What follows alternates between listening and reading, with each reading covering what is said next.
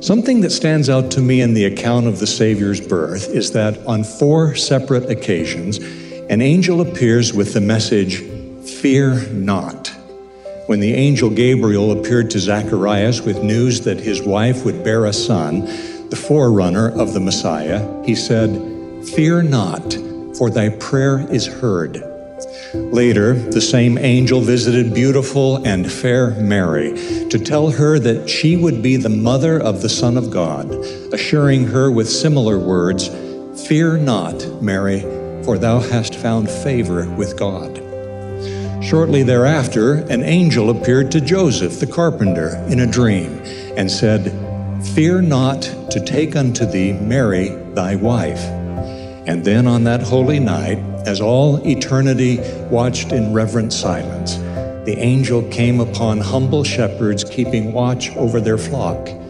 The shepherds, who were sore afraid, heard the angel proclaim, Fear not, for behold, I bring you good tidings of great joy, which shall be to all people.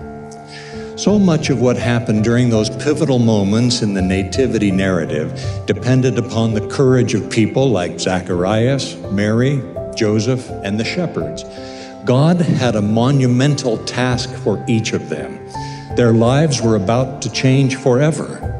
Imagine if they had let fear overcome them. What if they had pulled back, doubted, and failed to do what God needed them to do?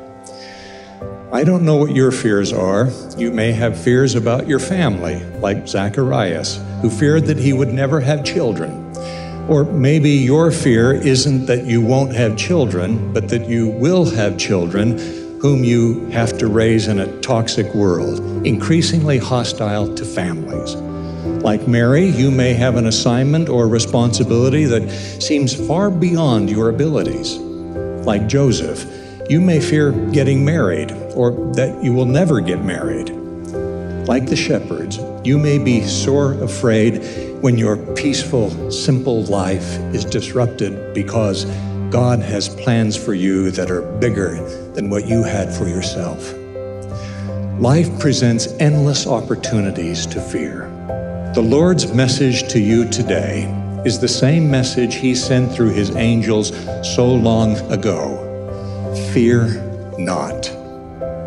He can say that because he knows more than we do. He sees what we cannot see. He knows what's coming, and in the eternal scheme of things, it's not as bad as we may think. He knows that we can handle it with His help because He knows how to strengthen and succor us.